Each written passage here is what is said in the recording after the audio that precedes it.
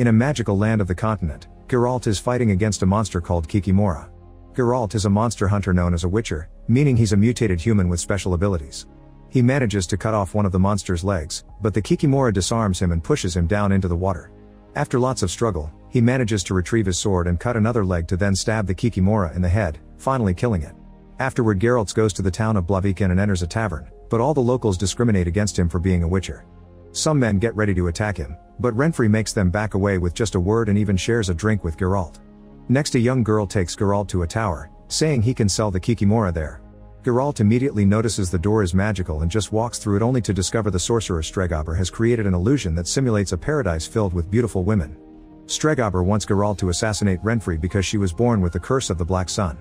All the women who carry that curse were born mutated and are predicted to bring the extermination of the human race. To prevent this, sorcerers have been killing these women and Renfri is the only one left. Renfri's mutations make her immune to Stregobor's magic, which is why he wants to hire Geralt's service. However Geralt refuses, saying he only hunts monsters and is neutral to society's squabbles. Geralt leaves Blaviken and in the forest he's approached by Renfri, who wants to know where Stregobor is. She explains that the assassin he sent abused her and robbed her, which is why she killed him and now she wants revenge on Stregobor. Geralt stays neutral, but he bonds with Renfri over being discriminated mutants, and they end up doing the naughty. That night Renfri tells him not to run from the girl in the woods because she's his destiny. In the morning Geralt wakes up and sees Renfri's gone, so he rushes back to Blaviken, where he's surrounded by Renfri's gang. A guy shoots an arrow at him, but Geralt easily deflects it before meeting them in a fight. With incredible strength, fast and precise movements, and the use of magic signs, Geralt kills the gang members one by one, sometimes even using their own weapons. After decapitating the last guy, Geralt hears a girl asking for help and discovers Renfri is holding her hostage. Geralt tries to use a magic sign to make her obey him, but magic doesn't work on her. After pushing the girl away, Renfri attacks Geralt, who corners her against the wall because he doesn't want to hurt her. Renfri stabs him in the leg and forces him to fight, exchanging multiple hits of their swords but with only Renfri causing any damage.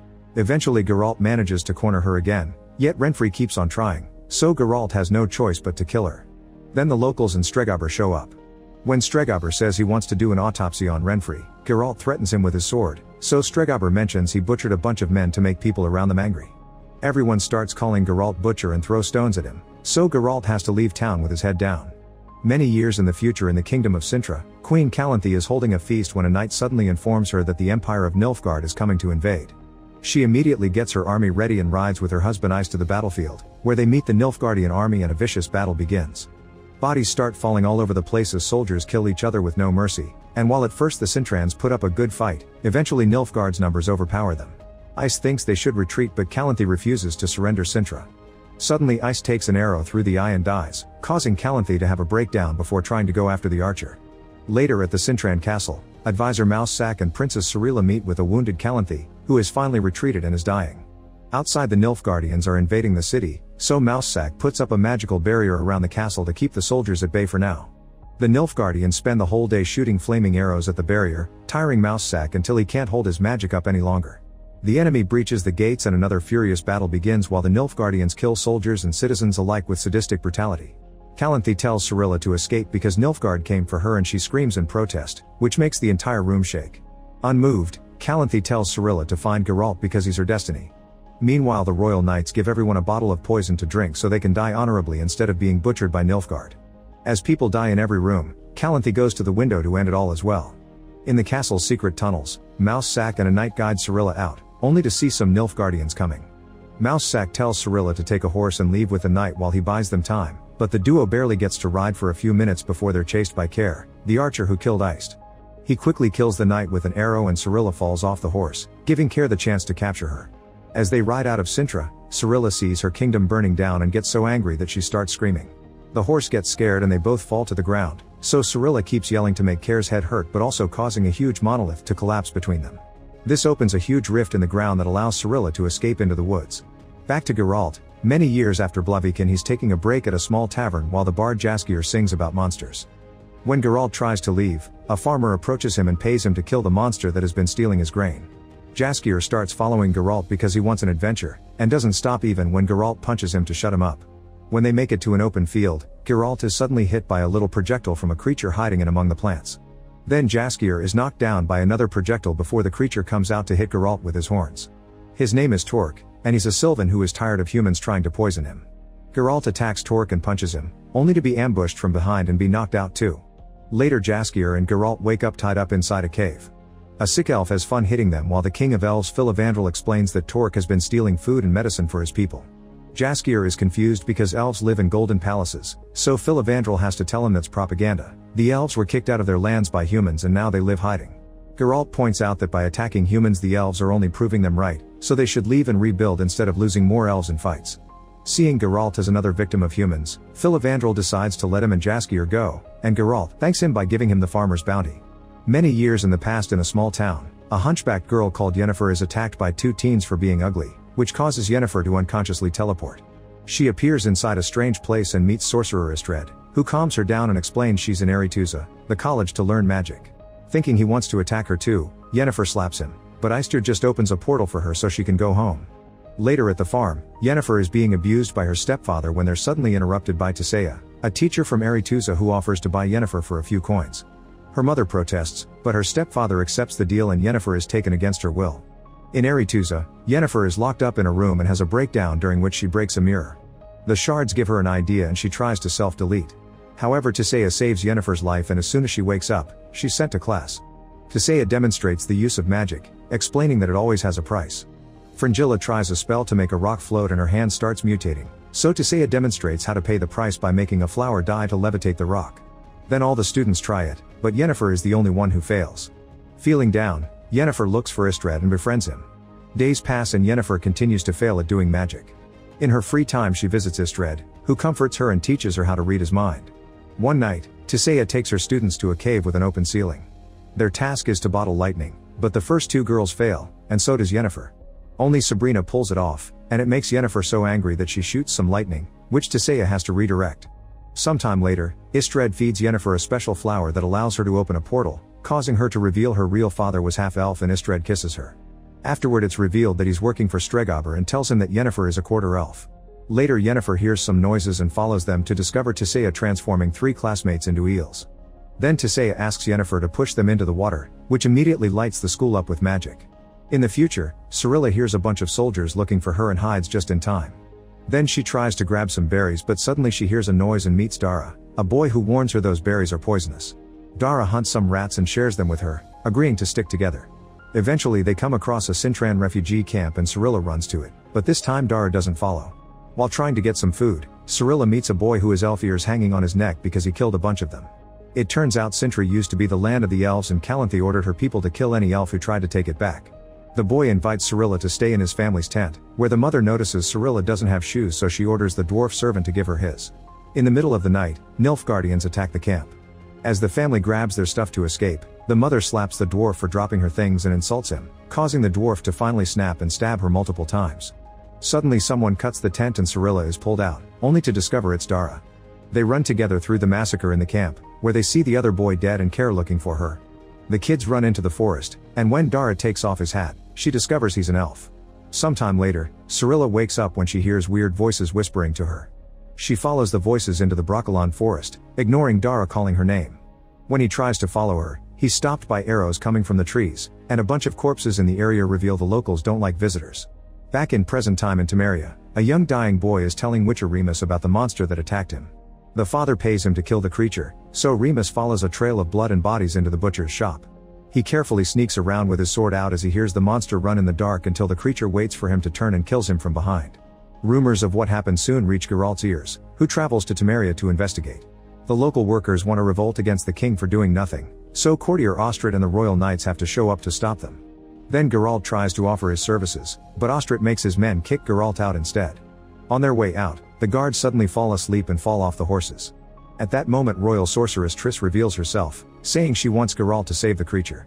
Later at the castle, she explains that the attacks have been coming from the crypt of Princess Ada, who rumors said was killed while pregnant. The monster may be Ada's cursed unborn child. She also allows Geralt to examine all the bodies of the creature's victims, including Remus. Geralt discovers the bodies are only missing the heart and liver, and the only monster who eats like that it's a striga, a cursed female. This confirms the creature is the unborn princess. The next day, Triss introduces Geralt to King Foltest, and Geralt shares the truth about the monster. Annoyed, Foltest asks everyone to leave, but Geralt waits for the others to be out to suddenly lock the door and interrogate Foltest. He wonders why the king hasn't reacted to the news of his sister being murdered and asks who is the baby's father. Foltest refuses to answer and kicks Geralt out of his kingdom. Instead of leaving, Geralt sneaks into the crypt with Triss. After Geralt sniffs the bed, they find a bunch of letters inside a music box. The queen wrote to Ada asking her to stop getting naughty with Foltest, which confirms he's the baby's father. They take the letters to Ostrit and Geralt mentions he smelled Ostrit's scent on the prince's bed. Ostrit admits he used to be jealous of Ada because she chose her brother over him and he was the one that sent the curse. He had been trying to curse Foltest but it backfired, and Geralt punches him for it. In the evening, Geralt returns to the crypt and finds Foltest, who begs him to save his daughter. Inside, Geralt ties Ostrit to the bed and forces him to share what spell he used, making him realize he'll have to fight the Striga until dawn to break the curse. Geralt takes his special potions for a boost and then leaves the room, allowing the Striga to find Ostrit and kill him in seconds. Afterward the Striga searches for Geralt, who must fight her without killing her. He throws a chain to capture her, but the Striga easily breaks it and attacks him. Geralt fights her without using his sword, pushing her away with a magic sign instead. However the Striga easily knocks him down and starts throwing around. With another magic sign, Geralt destroys the floor, causing them to fall into an underground area. Then he places a magical barrier on the entrance before he's attacked by the Striga again. When he's down, the Striga tries to escape, but the barrier keeps her at bay. At that moment the sun starts to come out, so Geralt runs to push the Striga and prevent her from returning to her crypt. Instead he goes inside himself and locks it with a magic barrier, leaving the Striga screeching outside in frustration. In the morning, Geralt finally comes out and discovers the Striga has become a young girl, meaning the curse is gone. When he comes closer, the girl jumps on him and bites his neck because she doesn't know how to be human. Moments later, Geralt wakes up after being healed by Triss. She tells him that Foltest made up a story about how Ostrit died while killing the Striga and that locals consider him a hero. Geralt just takes his money and leaves. Back in the past, Yennefer and Istredd are having their first time while Yennefer keeps up an illusion to practice her magic, which makes it look like they have an audience clapping for them. Afterward Yennefer meets with the enchanter who will modify her body to be beautiful because all sorceresses must look good while working as royal advisors. Sometime later, Yennefer learns that instead of advising the king of her homeland as planned, she'll be sent to Nilfgaard. She angrily demands an explanation and Tissaia shares that Stregobor told the rest of the council that Yennefer is part elf. Sometime later Istredd notices Yennefer has missed the initiation and goes looking for her, only for Yennefer to yell at him because she's realized he manipulated her. An argument ensues but Yennefer refuses to forgive him. While a ball is being thrown to introduce the new sorceresses to their kings, Yennefer goes to see the enchanter. Since there isn't much time left, he can't prepare the herbs to put her to sleep, so she'll have to go through it awake. Like all sorceresses, she must pay the price of the transformation with her fertility. As the enchanter removes her womb and begins working on fixing her body, Yennefer screams in pain but never gives up, letting every bone and inch of skin reform itself. Moments later, Yennefer shows up at the party and shocks everyone with her stunning beauty. She immediately dances with the king of her homeland and gets the position she wants, making everyone else seethe.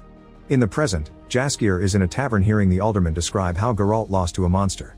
Jaskier doesn't believe him, and soon Geralt enters the tavern covered in monster guts. Everyone considers Geralt a hero while Jaskier makes them sing his Witcher song, which has helped clean Geralt's reputation and made him famous. In return, Jaskier asks Geralt to be his bodyguard for an incoming royal party. When they arrive at the castle, Mousesack immediately recognizes Geralt and asks him to chat in private. He explains lots of people are gathered here to ask for the hand of Calanthe's daughter Pavetta, although Eist is there because he's more interested in Calanthe herself. When Calanthe finally arrives, the party truly takes off. Two drunk lords begin arguing about manticores, so Geralt throws some sass at them to shut them up. Amused, Calanthe invites Geralt to sit with her. While they dine, Calanthe asks Geralt if he'll help her out if things get violent but Geralt refuses, reminding her that witchers are neutral. As the party progresses, they're suddenly interrupted by a man sneaking past the guards to ask for Pavetta's hand. Eist immediately takes his helmet off and everyone is shocked to see that this Lord Urchin looks like a humanoid hedgehog. Calanthe orders Geralt to kill him but Geralt refuses, saying this isn't a monster but a cursed knight. Then Calanthe orders the guards to get him, yet Urchin beats them up in seconds before announcing that Pavetta belongs to him under the law of surprise. A whole army of guards tries attacking him again and while at first Urchin can defend himself, more guards keep coming and he's overpowered. When he's about to get killed, Geralt cuts in to defend him, and the battle restarts with Urchin and Geralt fighting together. One by one the soldiers go down all over the dance area, and soon the other lords come forward to take over the attack. However Eist takes Urchin's side, saying the law of surprise must be respected. Total chaos ensues and eventually Calanthe grabs a sword to save Eist before yelling for everyone to stop. Suddenly Pavetta runs to Urchin and hugs him, revealing they've been having a secret affair. Then Urchin explains he saved the king's life years ago and as a reward, he asked for the law of surprise, which gives you what a person has but doesn't know yet. Later that day the king discovered Calanthe was pregnant with Pavetta. The king may be dead now but Calanthe reveals she knew about this, that's why she tried to hire Geralt in advance. Urchin had never intended to claim Pavetta, but one day he bumped into her by accident and they fell in love. Pavetta says she wants to marry Urchin, and Eist, Mousesack, and Geralt tell Calanthe that a promise must be honored. Cornered, Calanthe approaches Urchin with fake acceptance and takes out a dagger to kill him. At that moment Pavetta starts screaming and a magical pulse blasts through the room, knocking everyone except Urchin away. The couple floats in the middle of a magical vortex of wind, which may destroy the building soon. Geralt tries to break the vortex with his signs, but he's only pushed back. Then he drinks a potion, and with the help of Mousesack's magic, he manages to break through the vortex and make Pavetta stop. After a few seconds of darkness, everyone confirms they're fine, and Calanthe has no choice but to accept Urchin as Pavetta's husband. Eist also asks Calanthe to marry her, so they have a double wedding. The couples have a lovely ceremony and when Urchin and Pavetta kiss, Urchin becomes human because true love breaks his curse. When Geralt tries to leave, Urchin insists on rewarding him, so Geralt asks for the law of surprise to brush him off. Suddenly Pavetta throws up, revealing that she's pregnant, which means Geralt has a claim on her child. However Geralt doesn't care and leaves, ignoring Mousesack's warnings against ignoring destiny. In the past, years after the initiation, Yennefer is escorting Queen Callis and her seventh daughter across the countryside. Suddenly their carriage stops and they hear screaming before several swords begin poking through the carriage. Yennefer looks out and sees all the guards being slaughtered by a mage assassin controlling a creepy monster. The creature comes after them, so Yennefer opens a portal so she can run with Callis and the last standing guard. The group appears in a desert and Yennefer realizes the mage was sent by the king to kill Callis because she was unable to have a male heir. The assassin appears behind them and the monster immediately kills the guard while Yennefer opens another portal for her and Callis to escape again. They appear in a town and Yennefer begins taking Callis jewelry off because the king probably gave her something to be traced. The mage shows up again, so Yennefer uses her magic to freeze the monster in midair while opening a portal with her other hand. Once Callis runs through it, Yennefer follows her, only for the queen to call her useless. The mage appears again, and this time an angry Yennefer escapes alone. Callis is immediately killed by the mage and when the creature is about to kill the baby too, Yennefer shows up and decapitates it. Then she throws a magical attack at the assassin to distract him while she grabs the baby and runs through a portal, only for the mage to throw a knife at them. Seconds later, Yennefer lands on a beach and realizes the baby is dead, so she buries her in the sand.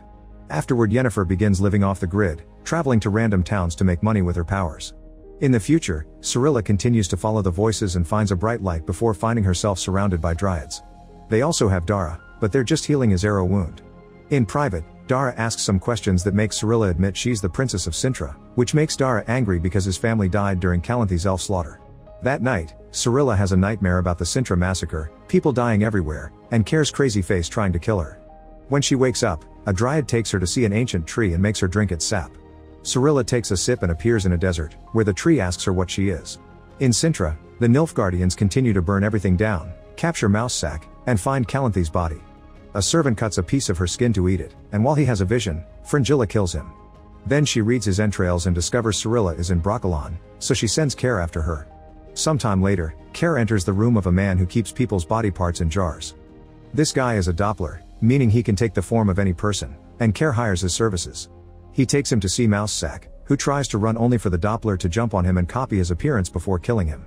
In the present a few years after the Cintran feast, Jaskier finds Geralt fishing for a djinn so that he can wish for a cure for his insomnia. When he finally finds a bottle, Jaskier fights him for it, and the bottle accidentally breaks. Geralt wishes Jaskier would shut up and a cut appears on his arm as a strong wind begins blowing around them. Guessing it's the djinn, Jaskier makes two dumb wishes, only to suddenly be pushed by magic. Geralt uses his sign to send the djinn away and when he turns around, he finds Jaskier puking blood with a tumor on his throat. On his horse, Geralt takes Jaskier to the nearest camp and asks for a healer. The man inspects the tumor and gives Jaskier a potion that will buy him a few hours, but they'll need a powerful mage to take care of this. Apparently there's one in the mayor's house.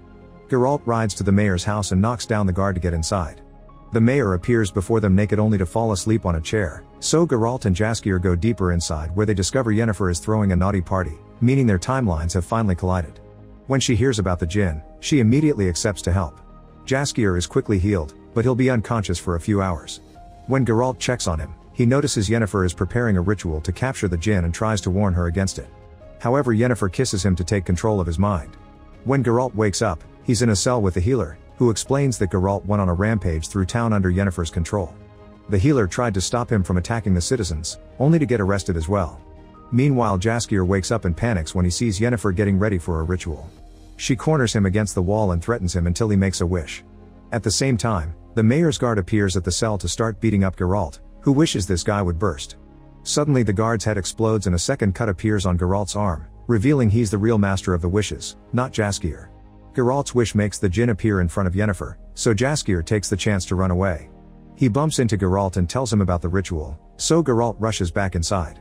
Yennefer is on her knees having trouble controlling the djinn's humongous power, yet she refuses Geralt's help.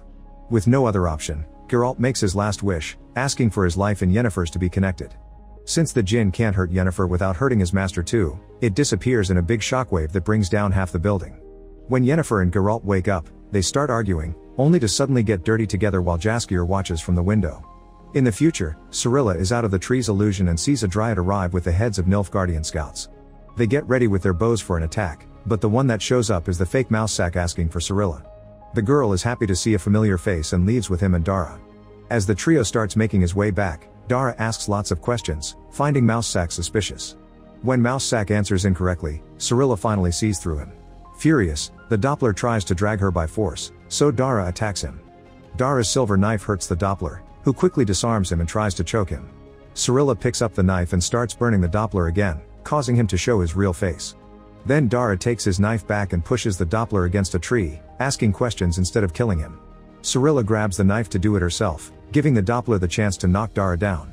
Terrified, Cirilla runs away, only to be caught by the Doppler in the form of a Nilfgaardian soldier. Moments later, Cirilla finds herself tied up inside an inn room where she meets with Cahir. However as soon as Cahir turns around, Cirilla changes forms to copy Cahir's because it's actually the Doppler, who is angry at Cahir for not telling him how dangerous Cirilla is. A fight ensues and Cahir has trouble fighting the Doppler because he's copying his skills. The men fight all over the room, using any object available as a weapon. Cahir cuts the Doppler's face with a broken bottle, forcing him to run away. When Cahir comes out too, he sees a bunch of locals and can't guess who the Doppler may be disguised as, so he gives up. Meanwhile Cirilla is tied to a tree in the forest and found by Dara, who quickly frees her. He scolds her for leaving the safety of Brokilon, saying she only brings terror and death just like Calanthe, then he abandons her. Cirilla travels alone and ends up in a small town, where she steals a horse to travel faster. That night, she's camping on an open field when she's suddenly approached by some guys. She realizes they're people she knew from Cintra, but they aren't here as friends, they want to capture her and bring her to Nilfgaard for the reward. Terrified, Cirilla falls to her knees and her powers take control of her. With a creepy voice, she shares a prophecy about the end of the world and screams. In the present, a few years after the Djinn incident, Geralt and Jaskier meet with Borch and his two bodyguards. Over a drink, Borch explains a dragon has appeared in the kingdom, and the locals tried to attack it to get its gold. In revenge, the dragon has destroyed half of the countryside. The king has now put a price on the dragon's head, so lots of teams are getting ready to go after it. Borch wants Geralt in his team, but Geralt refuses, saying dragons are intelligent creatures and he doesn't kill them. However he immediately changes his mind when he discovers Yennefer is coming along with a knight. While all the teams are going up the mountain, Jaskier finds a monster among the bushes and panics. Geralt explains it's a peaceful monster that probably is just hungry. However the knight comes forward and viciously slays the poor creature, decapitating it before continuing to hit it with his sword. Later when the group stops to rest, the knight roasts the monster and eats it, which makes him feel sick and run to relieve himself in the woods. The next morning, the group discovers that the knight was murdered while pooping. Yennefer is furious because she lost her sponsor and Geralt asks her why she wants to kill the dragon. She explains that a dragon's heart can cure infertility, but Geralt just laughs at her, saying it's an urban myth. Then the dwarf team announces they don't trust the team of mercenaries, believing them to have killed the knight, so they'll take a shortcut. Geralt's team and Yennefer go with them, discovering the shortcut is a very small path around the mountain made for dwarves. They still cross it very carefully, however their weight makes the wood break and Borch and his bodyguards fall, managing to hold onto the chain at the last second. Geralt holds onto the chain wanting to save them, but the wood is breaking under him too. Not wanting more deaths, Borch lets go and his bodyguards quickly follow him. Moments later, the group stops to make camp and Geralt visits Yennefer in her magical tent, where they end up getting naughty for the rest of the night. The next morning, Yennefer and Geralt discover the dwarves left without them, so they go after them. When she catches up to the dwarves, Yennefer uses magic to make them freeze. Then she enters the cave and discovers the dragon has already died protecting her egg. Yennefer tries to approach her only to find her path blocked by Borch's bodyguards, who are actually alive. The women are about to fight but Geralt interrupts them, soon followed by a second dragon. It turns down this is Borch's real body and he never hired Geralt to kill his wife, he wanted the Witcher to protect the egg from the other teams. At that moment the mercenaries arrive, so Yennefer and Geralt help the bodyguards protect the egg. A battle ensues during which Geralt and Yennefer kiss as they attack their enemies together. One by one all the mercenaries are defeated, but unfortunately more keep coming. Yennefer and Geralt fight the enemies outside while the bodyguards fight those who manage to enter the cave. A guy sneaks around and almost reaches the egg, so Borch breathes fire to kill him. Outside, a mercenary throws dirt into Geralt's eyes to distract him, but Geralt catches his weapon and allows Yennefer to kill him, ending the fight. Moments later, the dwarves finally snap out of Yennefer's spell. Back in his human form, Borch gives them a bunch of dragon teeth, which they can use to prove to the king that they killed the dragon. After the dwarves leave, Borch reveals to Yennefer what Geralt's wish was. Yennefer gets angry because now she doesn't know if what they have is real, and after an argument, she breaks up with him and leaves. Many years later, Geralt sees the Nilfgaardian army marching towards Cintra, meaning he's finally in Cirilla's time. He travels to Cintra as well because he's worried about his child of surprise, so Mousesack explains Cirilla is fine although her parents died years ago. Suddenly Geralt hears a noise and checks the tunnels to see two men, realizing Calanthe sent assassins to kill him if he ever showed up in Cintra. Then Geralt takes Mousesack hostage to force all eight assassins to come out of hiding. Wanting to avoid a fight, Mousesack opens a portal to teleport himself and Geralt away. Afterward they go to see Calanthe, and Geralt explains he's come to take Cirilla away to protect her from Nilfgaard, promising to bring her back when the battle is over. Calanthe reluctantly agrees and introduces him to a fake princess, saying she'll be ready in a few hours. While waiting, Geralt sees a mysterious wind open a door and goes outside, where he sees the real Cirilla playing with some kids and being called Your Highness. Realizing he's being tricked, Geralt rushes to confront Calanthe, who ignores his warnings and orders Eist to escort Geralt out of the kingdom. On their way out, Eist stops by an arch, where two gates suddenly fall to capture Geralt. Soon the Battle of Cintra happens and the city is already shown. When the guard runs by, Geralt knocks him out through the cell door and steals his keys to escape. Outside, Geralt starts fighting off Nilfgaardians, killing a few before hiding to watch the soldiers storm the castle and Calanthe falling to her death. Geralt decides to sneak into the castle to find Cirilla, but after killing more soldiers, he discovers she's already gone. Meanwhile Yennefer is approached by sorcerer Vilgefortz, who convinces her to return to Aretuza. All the sorcerers are having an emergency meeting to discuss Nilfgaard's attack on Cintra. An argument ensues over whether they should help or not only to be interrupted by Fringilla, who is working for Nilfgaard and asks them to stay out of the way. Yennefer and Tissaia want to help Cintra, but the group votes and it's decided not to intervene. In secret, Vilgefortz gathers those who voted yes to fight anyway. The sorcerers leave on a boat to reach a keep on Sodden Hill, the location that Nilfgaard will try to push through to continue further north. There are lots of refugees here, so the sorcerers must protect them as well. Both groups start working together to prepare a bunch of traps and weapons, like enchanted bottles. Yennefer magically multiplies the feathers so they can make more arrows. A few hours later, everyone is asleep but Yennefer wakes up just in time to see a fireball coming at them and deflects it with her power. While she alerts the other sorcerers, Fringilla orders another fireball to be thrown, and the mage dies in the process just like the first one because fire magic is forbidden. The fireball is deflected again, so Fringilla creates a box and gives it to another sorcerer. In the morning, the sorcerer walks through the forest while spreading a thick fog that the Nilfgaardian soldiers march through. While everyone gets ready in the keep, Triss goes outside and makes a bunch of mushrooms grow in the forest. When the soldiers step on them, a dangerous gas is released, killing them all. Another group of soldiers approaches from a different direction and a sorceress uses her magic to snap all their necks. A third group is coming, so Sabrina and her archers throw the enchanted bottles and hit them with arrows, causing a bunch of explosions to rain down on the Nilfgaardians. After the final group starts marching, Vilgefortz teleports to the Nilfgaardian camp and starts fighting the few soldiers left there, using his magic to control his sword. Cahir finds him and a duel starts during which Cahir keeps disarming Vilgefortz and he keeps calling his sword back with magic. Eventually he runs out of energy, allowing Cahir to kick him down a hill. Next Fringilla opens a portal that connects to the keep's entrance, and her archers shoot arrows through it to kill a bunch of people. The Nilfgaardian sorcerer uses the distraction to sneak inside and drop the box as he dies. Tissaia goes to confront Fringilla, who throws dimeritium powder at her to block her powers. Then Fringilla activates the box, which releases a bunch of parasites. Soon the Nilfgaardians surround the keep and kill any sorcerer outside. Triss rushes to the entrance and creates a barrier out of vines that gets the enemy stuck. A soldier manages to reach through the vines and burns Triss' chest, burning the vines too. Meanwhile the worms take control of Sabrina and a few kids, who take some of the enchanted bottles. Sabrina surprises Yennefer and stabs her before the kids drop the bottles, causing a huge explosion that causes dozens of deaths. The tower also falls and Yennefer and Sabrina are thrown to the ground, where Sabrina passes out. Yennefer sees all the death and destruction that surrounds her and goes outside to start killing soldiers left and right. In the forest, Vilgefortz wakes up and finds a wounded mage from his side who killed a bunch of Nilfgaardians. The poor guy asks for help, but Vilgefortz kills him instead and ignores Yennefer when she tries to contact him telepathically. The Nilfgaardian soldiers keep coming, so Yennefer absorbs all the flames from the keep and releases them on the hill, setting the whole forest on fire but protecting Tissaia. The huge flames kill all the Nilfgaardians, winning the battle. In the meantime, Geralt leaves Cintra and eventually finds the destroyed refugee camp, where a guy is trying to give the dead Cintrans a proper burial. Suddenly the man is attacked by necrophages, monsters that haunt places with lots of dead bodies.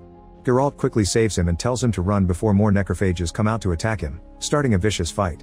Their numbers allow them to overpower Geralt and they even bite his leg, but Geralt pushes through and kills them one by one until there are no monsters left.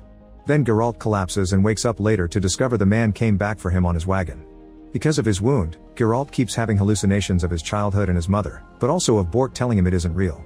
Geralt drinks some of his potion and throws the rest on his wound, only to start hallucinating again. He remembers how his mother abandoned him in the middle of the road for the Witchers to take. A few hours later, Geralt wakes up to a woman healing him. At first he hallucinates it's Renfri or Yennefer, only to then discover it's actually his mother. He calls her out for giving him to the Witchers, who painfully experimented on him to give him his powers, but his mother tells him to move on. In the meantime, Cirilla wakes up and discovers her magic killed her horse and all the men.